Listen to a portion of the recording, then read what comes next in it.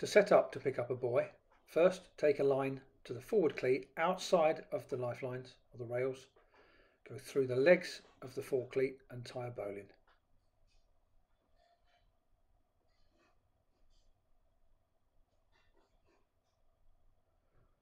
Once you've done that, take the line outside everything back to the shrouds.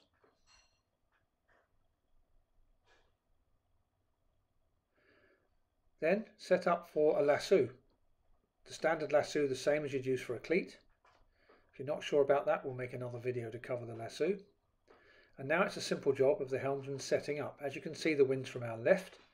I'm going to leave myself with a little bit of wind from the left to make sure that I get blown onto the buoy and not away from it. So I'm not going to line up exactly into wind. The trick with coming to the shrouds means that I can see the buoy right until it stops. So at no point do we have to shout to each other where the thing is. Crew here, as you can see, Jill is just relaxed and waiting to throw the line. She's having to do nothing else. Being at the shrouds also means she's got something to hold on to if there's a bit of swell.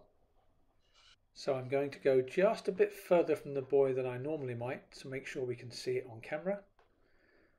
Closure rate's quite slow, so the wind's just left of the bow once we stop, that wind will blow us onto the buoy, making it very easy to lasso. As you can see, it's a very slow closure rate because I'm able to judge it because I can see it. I'm not relying on shouts from the crew.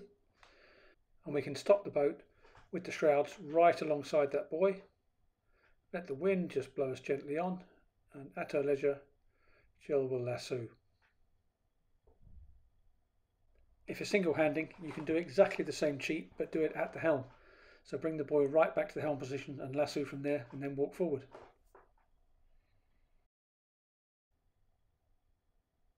She now takes the line back to the bow, the free end, takes a turn around the forward cleat just in case it starts to get tight on her and then she'll pull the slack up and pull it through all the way. As the wind pushes the boat back and the current pushes boat back if there's any the buoy moves towards the bow Jill's just taking up the slack. So she's doing no real work She's just taking any spare rope out of the way. Once the buoy is right underneath her, she'll simply oxo it off on the cleat. And then we can, at our leisure, thread a line through the eye.